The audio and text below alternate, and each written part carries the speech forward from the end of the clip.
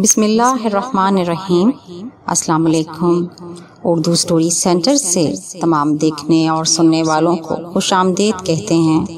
पेशे खिदमत है उर्दू नावल नाग देवता का तीसरा हिस्सा। तो आइए बढ़ते हैं आज की कहानी की जान। इससे पहले कि हम आज की कहानी का बकायदा आगाज़ करें, नए आने वालों से दरख्वास्त है कि हमारे चैनल को सब्सक्राइब कर दीजिए। वीडियो को लाइक कीजिए और लिंक दोस्तों के साथ शेयर कीजिए। जो चीज़ उसके हाथ में नज़र आई थी वो मेरे लिए नकाबले फहम थी। मैं ताजुब से उसे देखने लगा क्या है ये? जानना चाहते हो? या मज़ाक उड़ा रहे हो मेरा? न, नहीं। मैंने उसके चेहरे को देखते हुए कहा ये चेहरा मुझे बेहद अजीब लगा था। इन आँखों में नफरत की चंगारियाँ भरी थी। मैं तो ये सोच रहा था कि मुझसे इंतहाई मोहब्बत से पेश आएगी।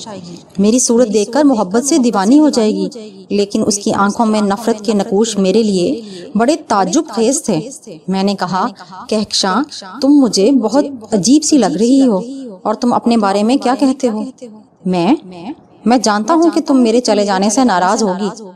खूब बेवकूफ़ आदमी, तुमने ये नहीं सोचा कि असल बहरोज भी वापस आ सकता है?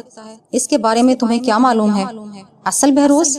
हाँ तुम्हारा मतलब है कि मैं मैं असल नहीं हूँ। मेरा यही मतलब है, और तुम इस बात को अच्छी तरह जानते हो। तुम्हें शायद कोई गलत फहमी हो गई है। क्या मेरी सूरत बहरोज जैसी नहीं है? जवाब में वो जहरीले अंदाज में मुस्कुरा दी। फिर उसने कहा तुम कौन हो? यहाँ आने से तुम्हारा मकसद क्या है? अगर बता दो तो बेहतर है। मैं गुमनामी के आलम में किसी को मौत का शिकार नहीं बनाना चाहती। मौत? मैं बुखलाए हुए लहजे में बोला और अचानक ही उसने अपना हाथ में पकड़े हुए इस अजीब गरीब शहर की कोई कुल दबाई। इससे शोला निकला और मेरे करीब से गुजरता हुआ। दीवार में पेवस्त हो गया। मैं हैरानों परेशान उसकी तरफ़ देखता रहा कि ये क्या कर रही है। मैं शिद्दत खौफ और हैरत से गंग रह गया। मेरे तो हवास ही बिगड़ गए और वो जहरीली निगाहों से मुझे देख रही थी। उसने कहा, और उसके बाद दोबारा फायर होगा। लेकिन साथ ही तुम्हारे सीने में सुराख भी हो जाएगा। मगर क्यों? आखिर क्यों? तुम तुम मेरी ज़िंदगी लेने पर क्यों तुल गई हो? तुम तो मुझसे मोहब्बत करती हो। मैंने मुश्किल तमाम कहा। अब तुम मुझे ये बताओ, तुम्हें किसने यहाँ भेजा है? मेरी मोहब्बत की कहानी तुम्हें कैसे मालूम हुई? क्या तुम मुझे इस बारे में नहीं बताओगे? किसने भेजा है? इसे क्या मतलब? मैं खुद यहाँ आया हूँ। फरीद अहमद साहब, तुम्हारे लिए किस कदर परेशान है? क्या तुम्हें इसका अंदाज़ा नहीं? और जब मैं आ गया हूँ तो तुम मेरे साथ ये सलूक कर रही हो? जवाब में उसने नफरत भरे अंदाज में होंठ सकोड़े। फिर बोली, आओ, इधर आओ, मेरे पास। लेकिन कान खोलकर सुन लो। अगर जरा बराबर कोई हरकत करने की कोशिश की तो मैं तुम्हें ज़िंदा नहीं छोड़ूँगी। ये तय खाना हज़ारों राजों का मदफन है। तुम ये ना समझना, तुम्हारी कहानी यहाँ से बाहर जा सकेगी। आओ मैं सहमा सहमा उसके साथ आगे बढ़ गया तो वो बोली इस संदूक का ढकना हटाओ। मैंने उसकी ख्वाहिश के मुताबिक लकड़ी के उस संदूक का ढकना हटाया। तो उसके अंदर जो कुछ मुझे नज़र आया उसे देखकर मैं खौफ से पीछे हट गया। ये भी एक इंसानी बदन ही था। लेकिन इसके नकूश देखकर मुझे अपने आप पर हँसी आने लगी। ये तो मैं ही था। नहीं, ये मैं नहीं, बल्कि बहरोज था, जिससे वो मोहब्बत करती थी। लेकिन लेकिन ये ये मर चुका है। मैंने ताजुब से उस मुर्दा शख्स को देखते हुए कहा, मुझे क्या समझते हो तुम? मैं एक तालीम याफ्ता लड़की हूँ, और ये बात तुम नहीं जानते हो। मैंने बहुत से अलूम सीखे हैं, जिनमें मिस्र का तरीका हनूत भी मुझे मालूम है कि कदीम मिस्र में फिर को कैसे हनूत कहा जाता था। किया जाता था। मैंने अपने महबूब को इसी तरह हनूत करके अपने लिए महफूज कर लिया है। इस बदबख्त ने मेरी मोहब्बत को ठुकरा दिया था। इसने मुझे तस्लीम नहीं किया था। ये समझता था कि मेरी चाहत जो दीवानगी की हद में दाखिल हो चुकी है, मेरी मजबूरी बन गई है। इसने किसी और लड़की को मुझ पर तरजीह दी थी। मैंने कई बार इसे समझाया कि देखो, मैं एक शिद्दत पसंद लड़की हूँ। मैं तुम्हें बेपनाह चाहती हूँ। तुम इस चाहत का तस्वुर नहीं कर सकते, जो मेरे लिए, मेरे दिल में तुम्हारे लिए है। अगर मुझसे बेवफाई करोगे, लेकिन ये मुझे बेवकूफ़ समझता था। मेरी तमाम चाहतों के बावजूद इसने सिर्फ़ ये सोच रखा था कि मेरी दौलत इसके कब्जे में आ जाए तो वो इसे ज़रिया अयाशी बना लेगा।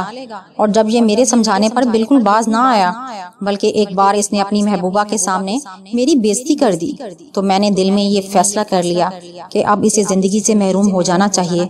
इस जैसे शख्स को ज़िंदगी नहीं दी जा सकती। मैंने तो इसे अपना सब कुछ दिया था। सब कुछ, लेकिन ये दीवाना था। इसे कबूल ना कर सका और फिर और एक रात मैंने जहर देकर इसको हलाक कर दिया। मैंने खत्म कर दिया इसे और इसकी लाश को हनूद कर लिया और अब अब ये सिर्फ़ मेरी मलकियत है। दुनिया इसे तलाश करती फिर रही है। लेकिन इसमें इतनी ज़रूरत नहीं कि यहाँ से एक कदम आगे बढ़ा सके। जब तक मैं ज़िंदा हूँ, ये इसी हालत में यहाँ पड़ा रहेगा। महबूबाओं से दूर, अपनी चाहतों से दूर, अपनी ज़िंदगी की ख्वाहिशों से दूर, सिर्फ़ और सिर्फ़ मेरी मलकियत। और तुम? तुम? तुम इसका रूप धार कर ये यहाँ आए हो। मेकअप किया है। तुमने अपने चेहरे पर बताओ क्यों? क्या वजह है इसकी? मुझे बेवकूफ़ बनाकर क्या तुम मेरी दौलत हासिल करना चाहते हो? बोलो, मुझे जवाब दो। मैं सख्ते के आलम में खड़ा हुआ था कि इंसानों की ये कहानी आह, इंसानों की ये कहानी? लेकिन यहाँ तो खेल ही कुछ दूसरा था। ये जुनूनी लड़की अपने हाथों से, अपने महबूब को कत्ल करके उसके लिए पागल हुई थी। नहीं, फरीद अहमद, मैंने तो मोहब्बत बड़े अंदाज में उसे बताया। उसे कहा कि ठीक है, लड़की, मैं कौन हूँ, क्या हूँ, ये जानना तुम्हारे लिए ज़रूरी नहीं। ना मैं ये बताना चाहता हूँ मैं तुम्हारी दौलत का लालच भी नहीं रखता। दौलत मेरे लिए कोई हैसियत नहीं रखती। अब तुम ऐसा करो कि मुझे जाने दो। मैं जा रहा हूँ और इसके बाद दोबारा कभी तुम्हारे सामने नहीं आऊँगा। तुमने वो राज जान लिया है जिसके बाद तुम्हारी ज़िंदगी मेरे लिए खतरनाक है। सुनो, मैं इस वक्त तो जा रही हूँ, लेकिन तुम अपने आप को तैयार कर लेना। कि मुझे अपने बारे में बता दो। अगर तुमने ना बताया तो इस तय खाने में दो लाशें होंगी। एक ये और दूसरी इसके हम शक्ल की, यानी तुम्हारी। सोच लेना, गौर कर लेना। कल दिन में मैं किसी वक्त आऊँगी। मुझे यकीन है कि उस वक्त तुम सच बोलने का फैसला कर चुके होगे। वो वापसी के लिए मुड़ी और मैं खामोशी से उसे जाते हुए देखता रहा। फिर जब वो ऊपर का दरवाज़ा बंद करके चली गई और अंदर इस खाने में तारीकी हो गई तो मैंने दिल में सोचा कि प्राता इंसानों के दरमियान तो बहुत ज़्यादा होशियार रहने की ज़रूरत है। ज़्यादा चलाकी का सबूत ना दो। इन्हें जानो देखो परखो और अपनी एम्बीना को तलाश करते रहो। इसी में बेहतरी है। सोचे समझे बगैर किसी मसले में इतना नहीं घुसना चाहिए। चलो निकलो यहाँ से। फरीद अहमद का ये घर छोड़ देना ज़्यादा मुनासिब होगा चुनाचे मैं इधर उधर देखता फिरा। फिर तय खाने में मुझे एक ऐसी जगह नज़र आई जहाँ से मैं सुराख में दाखिल हो सकता था। शायद चूहों ने ये सुराख बनाया था जो आगे जाकर एक नाली में जा मिलता था। बस मेरे लिए इतना ही काफ़ी था। मैंने ज़मीन कर बैठ पर, पर बैठ कर अपने बदन को अपनी असली शक्ल में लाना शुरू कर दिया। और जब वो एक पुतले लचकदार सांप की शक्ल इख्तियार कर गया तो मैं इस सुराख में दाखिल हो गया। अब यहाँ से बाहर निकलकर मुझे एक नई दुनिया की तलाश थी। किसी ऐसी जगह की तलाश जहाँ इंसानों की कोई नई कहानी मेरे इल्म में आ सके। न जाने कितना फासला मैंने अपनी असली शक्ल में तय किया था। वैसे तो मुझे कोई तकलीफ़ या परेशानी नहीं थी। इंसानों की दुनिया में ज़िंदगी गुजारना कोई मुश्किल काम नहीं था। लेकिन बस मैं ये सोच रहा था कि इंसानों की इस दुनिया में इंसानी शक्ल में ही ज़िंदगी गुजारना ज़्यादा मुनासिब होगा। किसी भी जगह कोई भी शक्ल इख्तियार की जाए। चुनाचे एक मुनासिब जगह देखकर मैंने एक इंसानी शक्ल इख्तियार कर ली। ये वो शक्ल नहीं थी जिसे वो लड़की कहकशां तय खाने में बंद करके चली गई थी। इतनी अकल तो मुझे भी थी कि अब इस शक्ल में रहना आपको अपने आप को खतरे में डालना था।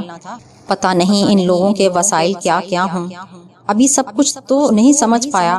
मैं बहरहाल एक इंसान की शक्ल इख्तियार करने के बाद मैं अपनी जगह से आगे बढ़ गया और फिर एक देखने वाले की हैसियत से माहौल का जायजा लेता हुआ उस जगह से बहुत दूर निकल आया। एक ऐसी जगह जहाँ दरख्तों की घनी छाव फैली हुई थी। बैठकर मैं ये सोचने लगा कि अब मुझे क्या करना चाहिए कि अचानक ही एक कार मेरे करीब आकर रुकी। अब कम अज कम इतनी बातों को मैं जान चुका था कि कौन सी चीज़ क्या होती है। कार में एक उम्र रसीदा आदमी बैठा हुआ था। उसने मुझे देखा, देखता रहा, फिर बोला, आओ, क्या अभी तुम अकल से आ रही हो और अपने लिए कोई सही फैसला नहीं कर सकते? बेवकूफ़ ज़िंदगी बहुत मुश्किल चीज़ है। इसे गुजारना आसान नहीं होता। आओ, बैठो, मेरे साथ चलो। मैंने दिल ही दिल में गहरी सांस ली थी। ये शख्स जो कोई भी है, कम अज कम चेहरे से बुरा आदमी मालूम नहीं होता। और जिस गलत फहमी का ये शिकार हुआ है, यकीनी तौर पर वो गलत फहमी मेरी शक्ल की वजह से हुई है। गोया फिर किसी नई कहानी का आगाज़। एक शाम की ज़िंदगी में इससे हसीन तजर्बात भला और कहाँ हो सकते थे? मैं तो बहुत खुश था, लेकिन बस एक ही दुख था। एम्बीना हाँ हाँ एम्बीना, अगर वो तजर्बात में मेरे साथ होती तो ज़िंदगी का लुत्फ ही दुबाला हो जाता। दुनिया की सबसे अनोखी मखलूक के दरमियान गुजरने वाला वक्त कितना खूबसूरत और कितने तजर्बात का हामिल है। ये कोई मुझसे पूछता। बहरहाल एम्बीना तो अब दिल में एक हसरत सी बनकर रह गई थी। इस शख्स की हदायत पर मैं उसके साथ कार में जा बैठा। उसने कार आगे बढ़ा दी। ये सफ़र भी मेरी ज़िंदगी का। एक मुनफरद तजर्बा था। अकल वाले इंसान ने अपने लिए क्या क्या आसानियाँ पैदा कर ली थी। कमाल की बात। थी बहर तो वो मुझे एक इंतहाई खूबसूरत अमारत में ले गया। फिर उसने कहा, बदनसीबी को अपने आप पर मुसलत करना कोई अच्छी बात नहीं। मैं तुम्हें जहाँ भेजना चाहता था, तुमने वहाँ से गुरेज करके अच्छा नहीं किया। मेरी बात ना मानो। एक बार तो वहाँ जाकर देखो। मैं तुमसे वादा करता हूँ कि अगर वो जगह तुम्हें पसंद ना आए तो तुम मुझे बता देना। ये क्या? के बगैर कुछ कहे सुने गायब हो गए। इंसानों से अब इतनी वाकफियत तो हो गई थी। मुझे कि मैं उनकी बात समझ सकता। कोई मुश्किल होती तो समझ सकता। ये शख्स ज़रूर मुझे किसी के धोखे में यहाँ पर लाया था। लेकिन कुछ ना कुछ तो होना ही था। और मुझे कहीं ना कहीं तो जाना ही था। ये खूबसूरत अमारत बहुत अच्छी थी। मैं खामोशी के साथ इस कमरे में चला गया जहाँ वो मुझे ले जाना चाहता था फिर उसने कहा बैठो मैं एक बार फिर तुमसे एक बात करना चाहता हूँ। मैंने आँखें बंद करके गर्दन हिला दी। तो उसने कहा देखो तुम मुझे बता चुके हो कि तुम्हारी सारी ज़िंदगी के बहुत से मसाइल वाबस्ता हैं। इंसान अगर अपनी कोशिशों में नाकाम हो जाए और वक्त उसे ये मौका दे कि वो अपना काम करे और मुश्किल में ना फंसे। तो मैं समझता हूँ कि उसे इस मौके से फ़ायदा उठाना चाहिए। मैं तुम्हें इतनी रकम दे रहा हूँ जितनी तुम ज़िंदगी में कभी नहीं कमा सकते। कुछ और चाहते हो मुझसे तो बताओ। मैं तुम्हारी ख्वाहिश पूरी करूँगा। खामोश मत बैठो। मुझे जवाब दो। मुझसे बात करो। मैंने गर्दन हिलाई और कहा हाँ मैं भी तुमसे बात करना चाहता हूँ। लेकिन क्या तुम्हें इस वक्त महसूस होगा, जब तुम्हें इस बात का इल्म हो कि तुम जिसे कोई और समझकर अपने साथ ले आए हो, वो असल में वो नहीं है, जो समझकर तुम उसे अपने साथ लाए हो। जवाब में वो शख्स ताजुब भरी नज़रों से मुझे देखने लगा। मैंने भी पहली बार उसका तजिया किया था। ये तस्वुर तो पहले भी मेरे दिल में आया था कि वो एक शरीफ आदमी है और जरा थोड़ा सा मुख्तलिफ़ भी और वो मेरे बा, मेरी बात को समझने की कोशिश करता रहा और कुछ देर के बाद उसने कहा तुम जो कुछ कहना चाहते हो जरा और साफ़ अल्फाज में कहो। तुम्हारी बात मेरी समझ में नहीं आ सकी। तुमने मुझसे क्या कहा कि मैं तुम्हें बताए बगैर तुम्हारे पास से, से चला गया? हाँ लेकिन मैं तुमसे ये कहना चाहता हूँ कि मैं ज़िंदगी में पहली बार तुम्हारे पास आया हूँ। क्या मतलब? जो तुम मुझे समझ रहे हो मैं वो नहीं हूँ। यानी तुम्हारा नाम अख्तर अली नहीं है? अफसोस नहीं। क्या कह रहे हो तुम? अगर तुमने मेरी बातें सुनी हैं तो समझ लो कि वही कह रहा हूँ अरे हाँ अब तुम्हें गौर से देखने से अंदाज़ा होता है कि वाकई ओहो माफ़ करना मेरे दोस्त। मैं तुम्हें अख्तर अली के धोखे में यहाँ ले आया। इसका मतलब है कि मैं एक बार फिर नाकाम हो गया। अफसोस। अफसोस। मगर सुनो तुम कौन हो? ये बात तुमने बहुत अच्छी की है। पहले तुम मुझे अपने बारे में बताओ। मैंने कहा खूब शक्ल बिल्कुल अख्तर अली जैसी है। लेकिन अब गौर कर रहा हूँ तो अंदाज़ा हो रहा है कि वाकई तुम अख्तर अली नहीं हो। साइंस की दुनिया में एक इनकलाब आ जाए, लेकिन कोई फ़र्क नहीं पड़ता। मैं ना नंगा हूँ, ना भूखा। मैं अपनी कदरों कीमत खुद जानता हूँ। मैंने अपनी लेबॉर्ट्री में जो कुछ बनाया है, अगर कोई देखे तो हैरान रह जाए। मगर मैं इस दुनिया को क्यों दिखाऊँ? क्या समझे? अब तुम मुझे अपने बारे में बताओ। प्रोफेसर राज़ी साइंसदान अफसोस में ये सारी बातें नहीं समझ सकता। काश मैं उन्हें समझ सकूँ। तुम्हारा नाम क्या है? प्राता। और मैं तुमसे झूठ नहीं बोलूँगा। प्राता, रेड इंडियन हो? कुछ भी नहीं हूँ। जो कुछ हूँ, अगर तुम्हें उसके बारे में पता चल जाए तो तुम यकीन नहीं करोगे। तो फिर ऐसा करो कि अपनी शनाख्त मुझ पर छोड़ दो। मैं समझा नहीं। मैं खुद तुम्हारे बारे में मालूम करूँगा कि तुम कौन हो। ये काम तुम नहीं कर पाओगे, प्रोफेसर राज़ी। ये तुम प्रोफेसर राज़ी से कह रहे हो? हाँ। तो फिर आओ, पहले मैं तुम्हें अपना तलेसम दिखाऊँ। वो क्या चीज़ है? मैं प्रोफेसर राज़ी के साथ उठ गया। ये मुझे दिलचस्प शख्सियत मालूम हो रही थी। वो मुझे पेच दर पेच रास्तों से गुजार कर एक तय खाने में ले आया। ये तय खाना था कि बस देखने से ताल्लुक़ रखता था। बहुत बड़ी जगह थी, जहाँ मधम नीली रोशनी फैली हुई थी। और इस नीली रोशनी में जो कुछ नज़र आ रहा था, वो बड़ा अजीब गरीब था। एक तरफ़ कुछ खाने बने हुए थे, वो मुझे यहाँ लाने के बाद ये तमाम चीज़ें दिखाता हुआ बोला, और ये दुनिया की अजीम शान तजर्बा गाह है। यहाँ आकर कोई शख्स अपने आप को छुपा नहीं सकता। यहाँ ज़मीन, आसमान, खला, सियारे, इन सब की तफसीलात मौजूद हैं। और तुम मेरे दोस्त सोच भी नहीं सकते कि मैंने यहाँ क्या क्या कुछ बना लिया है। हाँ खैर, छोड़ो, मैंने तुम्हें तो तुम्हें अपना तारुफ करवा दिया। अब तुम्हारा तारुफ भी मैं अपनी ज़ुबान से ही कराऊँगा। आओ, ज़रा मेरे साथ। मैं तुम्हें एक और चीज़ दिखाऊँ। फिर वो मुझे कुछ खानों के पास ले गया। छह दरवाजे थे, जिन पर मुख्तलिफ़ नाम लिखे हुए थे। एक पर लिखा हुआ था, खला। दूसरे पर ज़मीन की गहराइयों में तीसरे पर कुछ और, चौथे पर कुछ और, पाँचवें पर लिखा हुआ था। मुस्तबिल छठे पर लिखा हुआ था, माजी। ये सारी तफसीलात मैंने यहाँ इंसानों की दुनिया में आने के बाद ही सुनी और और थी और इनके बारे में थोड़ा बहुत जाना भी था। वो कहने लगा, इनमें से हर खाना जैसा कि मैंने बताया, उसी के मुताबिक है। अगर तुम चाँद पर जाना चाहते हो तो मैं तुम्हें वहाँ भेज सकता हूँ।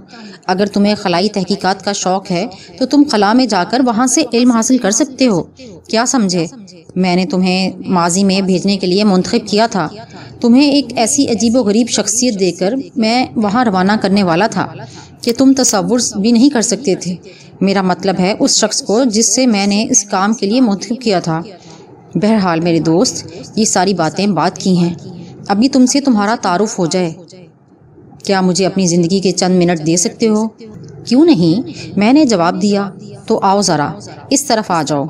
उसके बाद उसने मुझे अब एक कुर्सी पर बिठाया और ख़ुद न जाने क्या क्या हरकतें करता रहा। वो मेरे सर पर एक अजीब गरीब चीज़ लाकर रख दी जिसका वज़न मेरे सर पर नहीं था लेकिन उससे निकलने वाली रोशनियाँ मेरे सर पर पड़ रही थीं। मुझे नींद सी आने लगी और चंद लम्हों के माहौल में मैं बे, बेगाना हो गया और कुछ देर बाद उसने सब कुछ हटाया और उसके चेहरे पर हैरत के नकूश थे।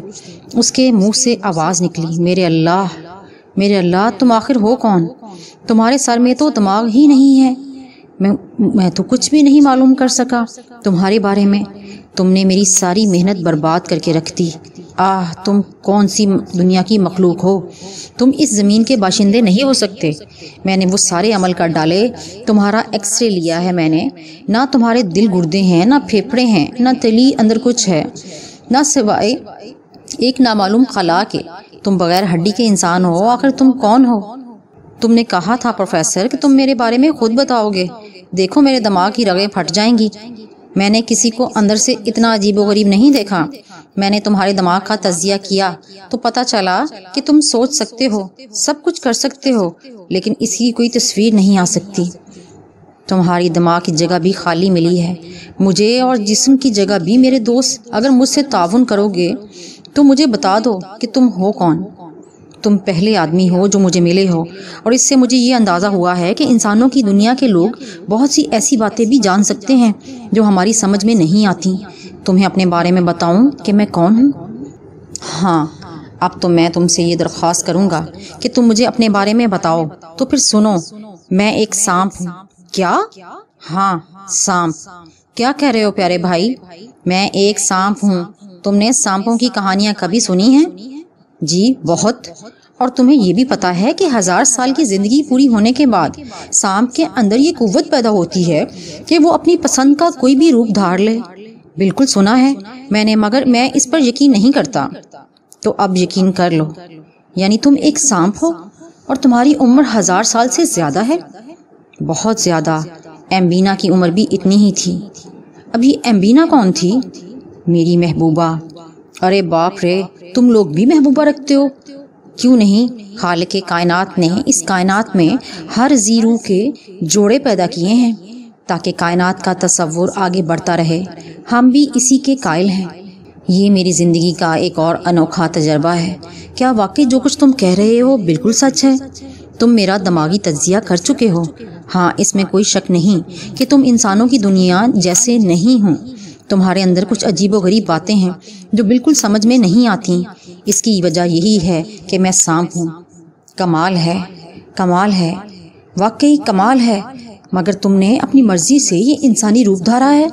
हाँ अफसोस में और अम्बीना इंसानों की दुनिया की तलाश में निकले थे। ये देखना चाहते थे कि हम इंसान के, हम के इंसान क्या चीज़ होते हैं। हमारे तजर्बे बड़े खौफनाक निकले और नतीजे में हम एक दूसरे से जुदा हो गए। यानी तुम और तुम्हारी महबूबा? हाँ। तो फिर? और अब मैं अम्बीना को तलाश कर रहा हूँ। इंसान बनकर? हाँ। क्या तुम्हारा कोई मखसूस ठिकाना भी होता है? हमारे रहने की जगह? हाँ। हाँ होता है और वो वादी अशमूला कहलाती है। वहाँ तुम सांप रहते हो? सांपों के बेशुमार कबाइल वादी अशमूला में आबाद हैं। दिलचस्प, बहुत ही दिलचस्प, प्रोफेसर राज़ी ने कहा और एक बटन ऑन कर दिया और फिर बोला, तुम्हारी बातें मेरे पास रिकॉर्ड हो रही हैं। एक सांप की आवाज़ को रिकॉर्ड करके मैं अपनी ज़िंदगी का अनोखा तजर्बा कर रहा हूँ। अच्छा प्राता, नाम बताया ना तुमने अपना? हाँ प्राता। तो अम्बीना तुमसे जुदा हो गई। हाँ और अब मुझे अफसोस हो रहा है कि हम दोनों ने गलत फैसले क्यों किए। हमें इंसानों की इस दुनिया का रुख नहीं करना चाहिए था। यहाँ आकर तो हमारा सब कुछ छिन गया। अब मुझे सिर्फ़ अम्बीना की तलाश है। अम्बीना अगर मुझे मिल गई तो मैं वादी अशमूला में वापस लौट जाऊँगा। तुम्हारी दुनिया से मुझे कोई दिलचस्पी नहीं रही है। वो एक नागन है, और उसने भी इंसानी रूप धार लिया है। बिल्कुल। तुम मुझे बता सकते हो कि वो कैसी शक्ल में होगी? नहीं, मैं नहीं बता सकता और ना मैं जानता हूँ। अगर मैं तुमसे एक वादा करूँ तो तुम मेरे वादे पर यकीन कर लोगे? नहीं, मैंने जवाब दिया और चूंक कर मुझे देखने की लगा, कुछ लम्हे देखता रहा और उसके होंठों पर एक मुस्कुराहट फैली। पसंद आई तुम्हारी बात मुझे। पसंद आई। वाकई दुनिया के रहने वाले अपना भरम इतना ही खो चुके हैं, लेकिन साफ़ गोई से कहने वाले भी इंसानों में कम अज कम नहीं हो सकते, क्योंकि तुम एक सांप हो। इसलिए तुमने साफ़ गोई से ये बता दिया मुझे कि तुम मुझ पर यकीन नहीं कर सकते। हाँ तुम मेरी बात का बुरा ना मानना। मेरा तजर्बा ऐसा ही है। बिल्कुल ठीक कहते हो। तुम अच्छा खैर, मैं तुमसे जो कुछ कह रहा हूँ वो सुनो और गौर से सुनो। एम्बीना को मैं तलाश करके रखूँगा। मैं एक तजर्बा करना चाहता हूँ अपनी ज़िंदगी का सबसे अनोखा तजर्बा। वो क्या? मैं तुम्हें मेरा मतलब है कि किसी ऐसे शख्स को माजी में भेजना चाहता हूँ, जो मुझे वापस आकर माजी की कहानी सुनाए। वो खुद माजी में एक तवील सफ़र तय करे। तुम्हारी उम्र हज़ार साल है। इससे बड़ी बात और कोई नहीं हो सकती, क्योंकि तुम अभी तवील उम्र जियोगे, जबकि इंसान बहुत मुख्तसर उम्र जी सकता है। मैं अपने प्रोग्राम को थोड़ा सा तब्दील कर सकता हूँ। ज़रा माजी में जाओ। मेरी ये मशीन तुम्हें किसी ऐसे दौर में पहुँचा देगी जो दिलकशी का हामिल होगा तारीख के हवाले से मेरे पास मवाद बहुत कम है और मैं ख़ास तौर से उन वहशियों की ज़िंदगी का तजिया करना चाहता हूँ, जो माजी के किसी दौर में आबाद थे और उनके अपने मसाइल थे, ताकि जब मेरी दुनिया के बारे में किताब शाया हो तो मैं उसमें दूर के हालात, चश्मदीद शख्सियत के हवाले से लिख सकूँ। ज़रा तुम गौर तो करो कितना बड़ा काम होगा ये, और वाकई तुम वहाँ जाकर सब कुछ समझ सकोगे। लेकिन तुमने एक बात कही है कि तुम एम्बीना को तलाश करोगे। जब तुम माजी से वापस आओगे और माजी का सफ़र ख़त्म हो जाएगा तो यकीन करो कि मैं एम्बीना को तुम्हारे हवाले कर दूँगा। अगर ऐसा ना करूँ तो तुम नाग हो, मुझे डस कर ख़त्म कर देना। मैं उस शख्स की पेशकश पर गौर करने लगा। जैसा कि मैं आपको पहले ही बता चुका हूँ कि ये चेहरे से अच्छा खासा शरीफ लगता था और मैं एक ऐसी शक्ल में गिरफ़्तार था जिसका कोई हल मेरे पास नहीं था। हकीकत ये है कि इंसानों की दुनिया में आकर इंसानों की शनाख्त एक दिलचस्प मशगला था। अगर एम्बीना भी साथ होती तो हम इससे मशगला कह सकते थे। लेकिन अब तो ये मेरी मजबूरी बन गया था। मैंने गर्दन हिलाते हुए कहा, लेकिन माजी की दुनिया में मेरा हशर क्या होगा? क्या मैं ज़िंदा इंसानों के दरमियान जाऊँगा? आह, एक ऐसा तजर्बा करोगे। तुम जिस पर तुम्हें खुद यकीन नहीं आएगा। जंगल, पहाड़, दरिया, सब कुछ तुम्हारे जाने पहचाने हैं। मैं तुम्हें जिस इलाके में भेज रहा हूँ, वो बड़ा दिलचस्प और गैर मामूली तौर पर एक शानदार इलाका होगा। वहाँ की ज़िंदगी वहाँ के हालात का तजिया करके उसे अपने जहन में महफूज रखना।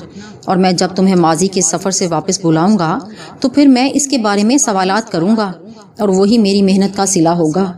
हाँ ये वादा है कि एम्बीना को मैं चाहे कायनात के किसी गोशे में तलाश करूँ, लेकिन उसे तुम तक पहुंचाना मेरा फ़र्ज़ होगा। बड़ी अच्छी पेशकश थी। मेरे ख्याल में मुझे मान लेनी चाहिए थी। मैंने उससे कहा वहाँ मुझे कोई नुकसान तो नहीं पहुँचेगा? नहीं, बिल्कुल नहीं। पहली बात तो ये कि वो गुजरी हुई बातें होंगी, तुम बेशक उन बातों में एक किरदार बन जाओगे। अमल भी करोगे, मगर वो अमल भी माजी का एक हिस्सा होगा। तुम्हारी जान को वहाँ कोई खतरा नहीं होगा। अगर वहाँ कोई खतरा होगा तो मैं तुम्हें तनहा नहीं छोड़ूँगा। तुम बेफिक्र रहो इस बारे में। ठीक है, मैं इसके लिए तैयार हूँ। मैं तुम्हारे जिस्म को सुनहरी और इतना खूबसूरत बना दूँगा और तुम्हारे जिस्म को एक ऐसी कुवत बख्शूँगा जो दुनिया के आम लोगों में नहीं होती। तुम अनोखे कहलाओगे और जो भी तुम्हें देखेगा, हैरत से पागल हो जाएगा। ऐसी खूबसूरती, ऐसी खूबसूरत ज़िंदगी तुम्हें और कोई नहीं दे सकता। ये पर पेशकश मैंने उस शख्स को भी दी थी, जो पहले मेरे कब्ज़े में आया था। लेकिन शायद ये सब कुछ तुम्हारी तकदीर में है। बोलो क्या तुम इसके लिए तैयार हो? हाँ। प्रोफेसर राज़ी, मैंने जवाब दिया, जो वाक़ात मेरे साथ पेश आए थे वादी इशमोला के रहने वालों को इनकी मुकम्मल तफसीलात का इल्म हो जाता तो कोई भी हज़ार साल की ज़िंदगी पाने के बाद अपने आप को इस तरह के तजर्बात के हवाले ना करता और कभी ये ना सोचता कि अपनी जून बदल कर एक नई दुनिया में दाखिल हो जाए। बहरहाल, मैं प्रोफेसर राज़ी के तजर्बात से गुजरता रहा पता नहीं मेरे बदन को कैसे कैसे रंग दिए गए। मुझे कैसी कैसी मशीनों में डाला गया। मुझे अपने जिस्म की तोानाइयों का पूरा पूरा एहसास हो रहा था। इसके अलावा प्रोफेसर राज़ी ने मुझे बेलिबास करके एक मशीन में बंद कर दिया। इस मशीन पर माजी लिखा हुआ था। अंदर बड़ी घुटन थी। अचानक ही मुझे यूँ लगा जैसे पूरी मशीन उलट पलट हो रही हो।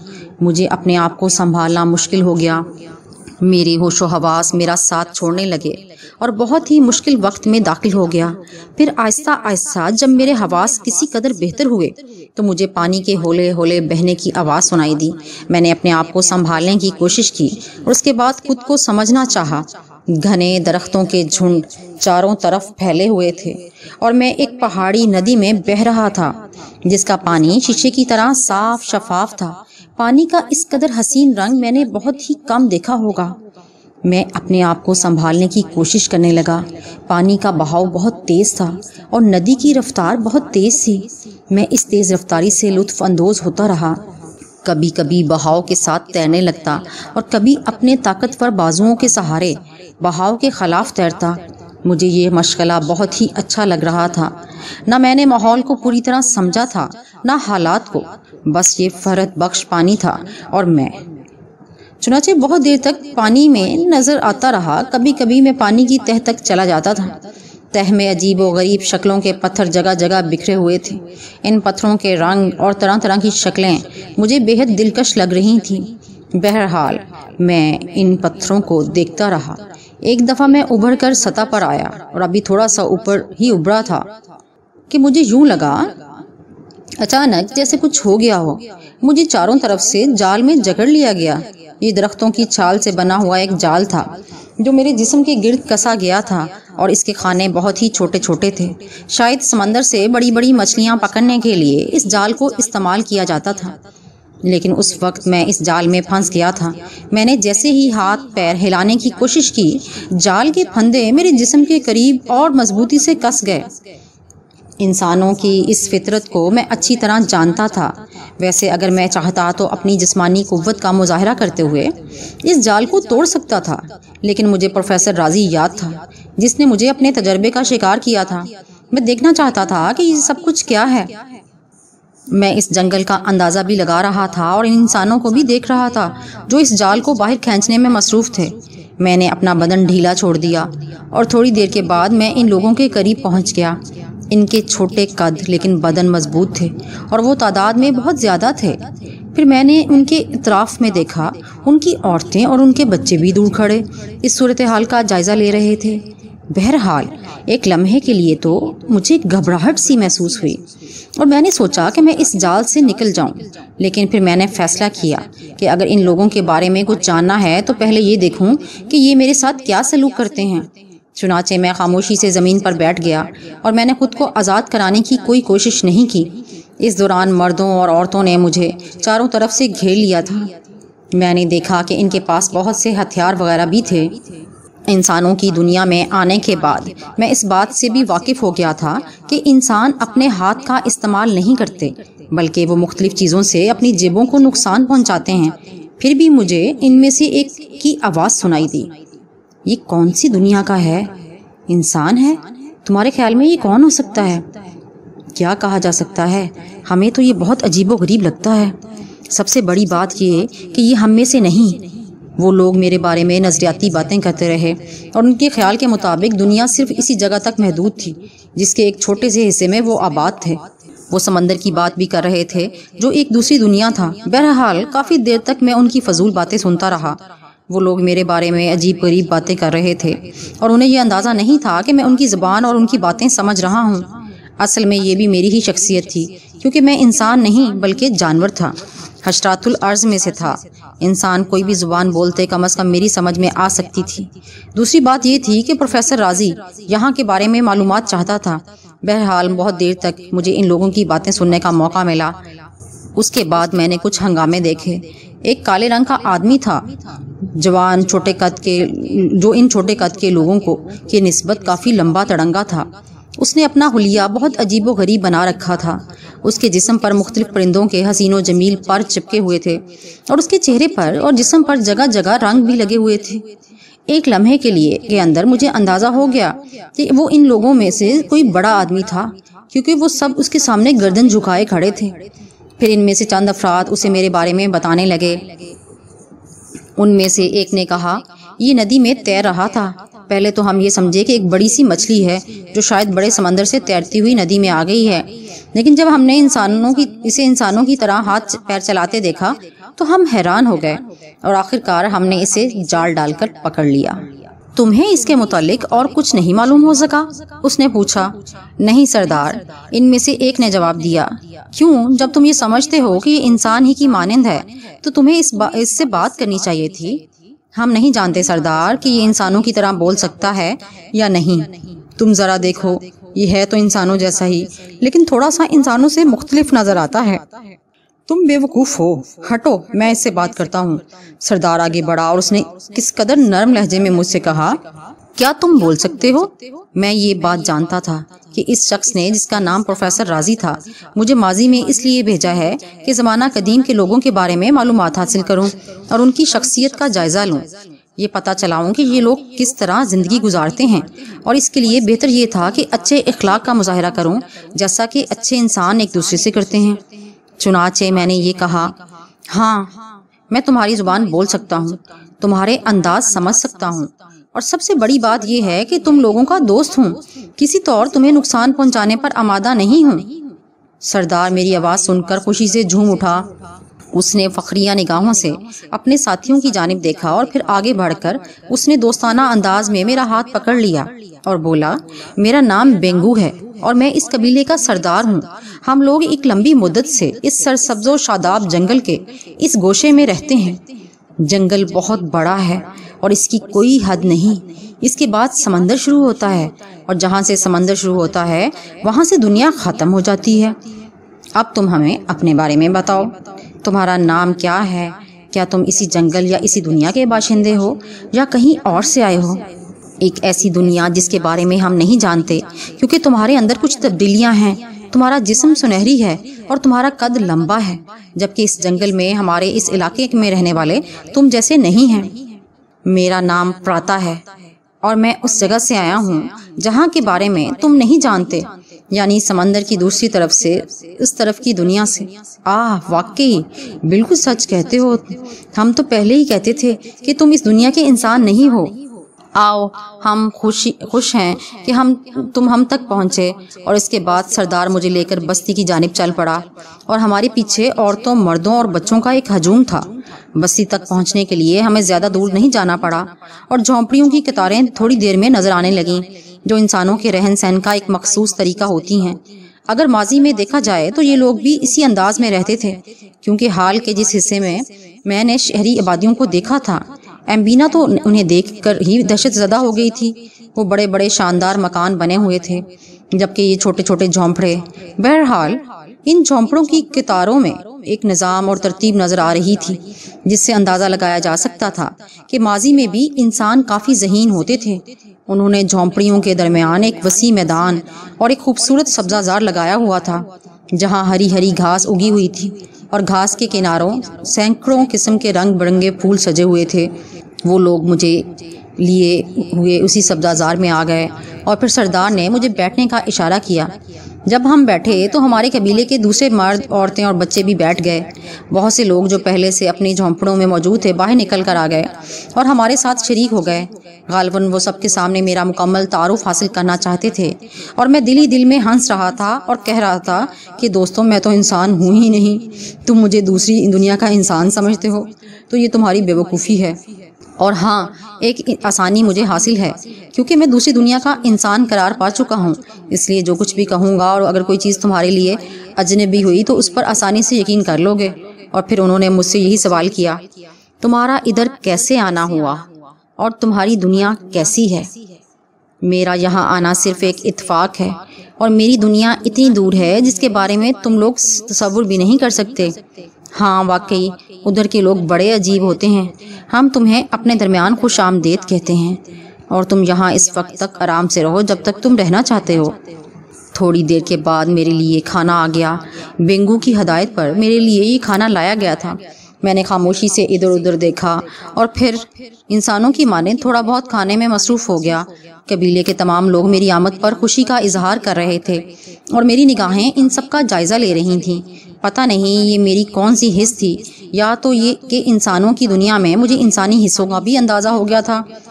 क्योंकि जहाँ मैंने बेशुमार इंसानों के चेहरों पर अपने लिए खुशी के आसार देखे थे, एक वही ऐसा चेहरा भी मेरी निगाहों में आया था। जिसकी आँखों में मेरे लिए नफरत और नापसंदीदगी नज़र आ रही थी। बहरहाल, इसके बाद मैंने उसके बारे में मालूम हासिल की तो मुझे पता चला कि उसका नाम हेनाला है। ये कबीले का जादूगर था। इस कबीले में एक ख़ास हैसियत हासिल थी और सरदार बेंगू समेत तमाम लोग इसका ज़बरदस्त एहतराम करते थे। मुझे यूँ लगा जैसे वो लोग हेनाला के बारे में खौफ का शिकार हों। और उसके अंदर कोई ऐसी बात ज़रूर थी, जिसकी वजह से वो इससे डरते थे। बहरहाल, हेनाला खामोश और सर्द निगाहों से मुझे घूर रहा था।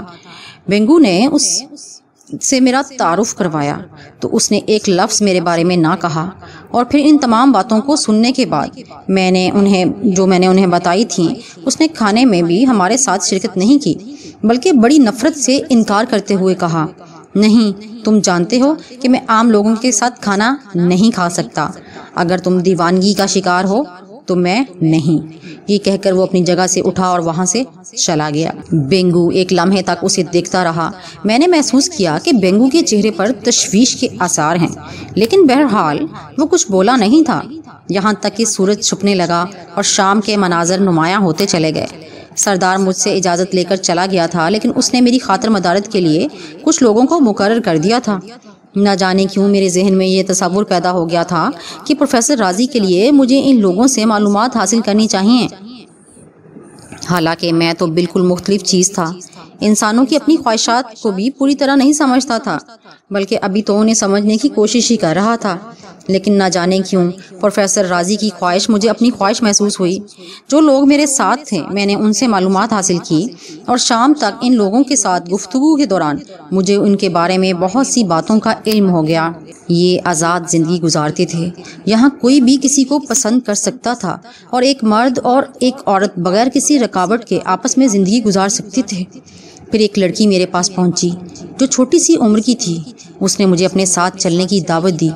मैं तो यही समझा था कि ये मुझे सरदार बेंगू के हुक्म से, लेकिन अपने झोंपड़े में ले जाकर उसने मुझे अपनी माँ से मिलाया, जो तीस बत्तीस साल की एक औरत थी, और उसका बदन भी इंतहाई ताकतवर और तवाना था। औरत ने अपनी बेटी का तारुफ मुझसे कराते हुए कहा, इसका नाम लाका है। बहरहाल, लाका मुझे किस मकसद के लिए यहाँ लाई थी, ये मैं नहीं जानता था। लेकिन इन दोनों माँ बेटियों ने मुझे बहुत ज़्यादा मोहब्बत से अपने दरमियान को शामदेद कहा और लाका की माँ लागी कहने लगी, दूसरी दुनिया के अजनबी, क्या तुम्हें ये बात मालूम है कि हर जगह जहाँ बहुत से लोग अच्छे लोग होते हैं, कुछ बुरे लोग भी पाए जाते हैं? है नाला, हमारे यहाँ का बुरा इंसान है और वो तुम्हें भी नफरत की निगाह से देख रहा है। तुम उससे होशियार रहने की कोशिश करो। लेकिन आखिर क्यों? अफसोस, इस बारे में मैं कुछ नहीं जानता। लेकिन ये हकीकत है कि हैनाला अजनबियों को पसंद नहीं करता। वो इस कबीले का जादूगर है। हमारे सरदार को भी उसके हुक्म की पाबंदी करनी पड़ती है। कोई उसका हुक्म नहीं डाल सकता। उसके कब्जे में रूहें होती हैं और वो मरने वालों की रूहों को बुलाता है। उनसे बातचीत करता है और ऐसे सारे काम कर सकता है जो दूसरे नहीं करते। हमारे कबीले में कोई भी उसकी मर्ज़ी के बगैर कुछ नहीं कर सकता। वो बीमारों को ठीक करता है और बीमारियों को यहाँ से दूर भगा देता है। मैंने बड़ी हैरत से ये सब सुना था। सांपों के कबीले में, वादी अशमूला में, हिशाला भी ऐसी ही एक शख्सियत थी। लेकिन वो तो बहुत अच्छा था, बेहद मेहरबान और हर एक से मोहब्बत करने वाला। बहरहाल, ये सब कुछ जारी रहा और मैं प्रोफेसर राज़ी के लिए बहुत सी मालूमात हासिल करता रहा। बहुत कुछ मालूमात मुझे वहाँ से मिली। असल में है नाला को ये खौफ था कि बाहर की दुनिया से कोई ऐसा शख्स यहाँ ना आ जाए जो उससे ज़्यादा बासर और ताकतवर हैसियत का मालिक हो। बहरहाल, ये वक्त बड़ी दिलचस्पी से गुजरा। मैंने इस सिलसिले में लाका से सवाल किया, लाका, तुम्हारी ज़मीन पर ऐसा कोई शख्स आ चुका है जिसकी वजह से हैनाला को परेशानी उठानी पड़ी हो? हाँ दो दफ़ा ऐसा हो चुका है और यही वजह है कि यहाँ के लोग हैनाला की बात मानते हैं, लेकिन उसके बावजूद मेरे कबीले की फितरत में मोहब्बत छुपी हुई है। अजनबी बाहर की दुनिया का हो या हम में से ही, कोई हम उससे हम उससे मोहब्बत करते हैं। वो भी एक आदमी था, हम ही लोगों जैसा। न जाने कौन से जंगल से रास्ता भटक कर हमारे इलाके में निकल आया था। जब वो कहता था कि उसका ताल्लुक किसी दूसरे कबीले से है और वो शिकार के दौरान अपने साथियों से बिछड़ कर इधर आ निकला है। उसे तो हमारी ज़ुबान भी नहीं आती थी और ना ही हम उसकी ज़ुबान समझते थे, लेकिन वो इशारों से हमें अपने बारे में बताता था। हमारे सरदार ने उसकी बात समझ ली और उसे पनाह दी, लेकिन हैनाला ने उसे अलहदा जाकर समझाया कि ये शख्स दर हकीकत एक बदरू है और इंसानी भेस में हम लोगों को तबाह करने की अर्ज़ से आया है। इसलिए इसको फौरी तौर पर हलाक किया जाना ज़रूरी है। हमारा सरदार हैनाला की इस बात से खौफसदा हो गया और उसने अजनबी की हलाकत का हुक्म दे दिया। उस अजनबी ने सरदार की बहुत खुशामद की और उसे यकीन दिलाने की कोशिश की कि वो यहाँ से चला जाएगा और इन लोगों की दुनिया में मुदाखलत नहीं करेगा।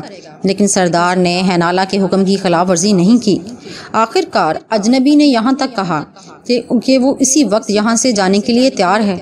लेकिन हैनाला ने सरदार से कहा कि बस्ती से निकलते ही ये अजनबी इस सारी बस्ती को आग लगा देगा क्योंकि ये एक बदरू है।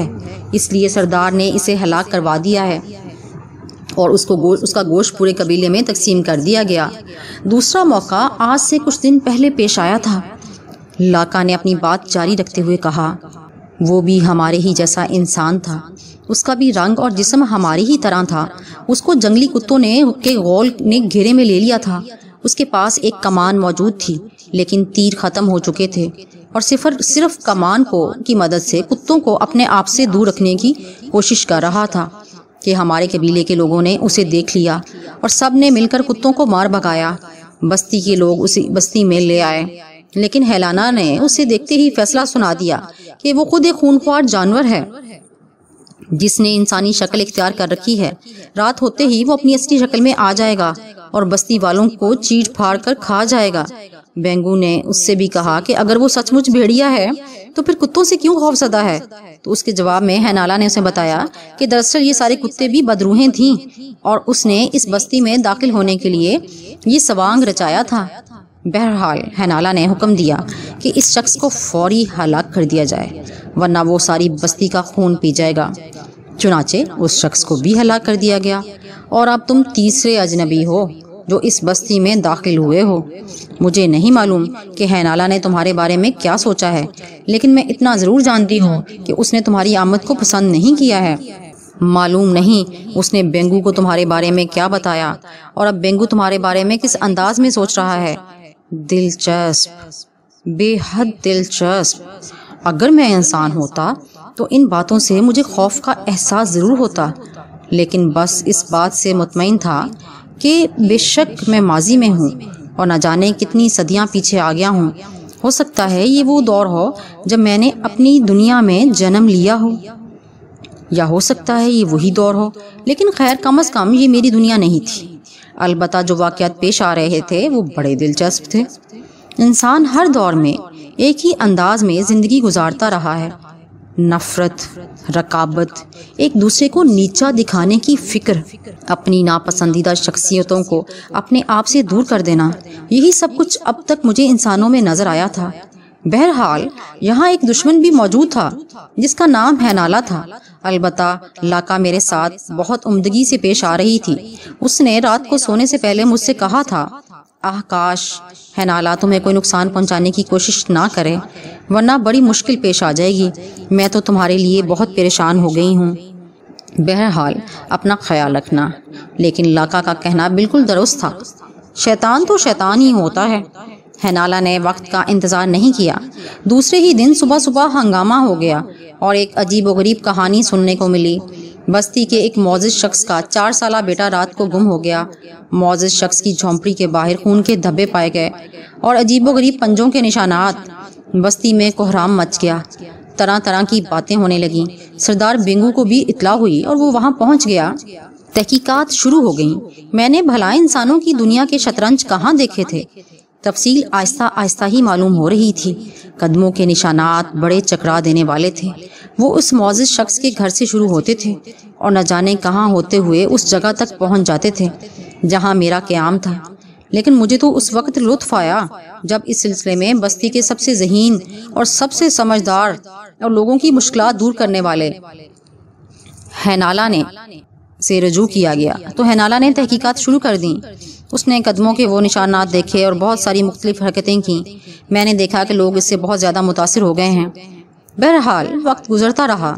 उसके बाद हैनाला ने जो बयान दिया, वो यही था कि रात को कोई नामालूम दरिंदा सोते हुए बच्चे को उठा कर ले गया है। दरिंदे के कदमों के निशानात और झोंपड़े के टूटे हुए हिस्से पर उसके निशानात मौजूद हैं और उसके कदमों के निशानात भी मिल गए हैं। लोग तरह तरह की हरकतें करते रहे और उसके बाद हैनाला ने अपना बयान दिया। तुम लोग इस खौफनाक दरिंदे को बस्ती से बाहर तलाश कर रहे हो, जबकि वो बस्ती के अंदर मौजूद है।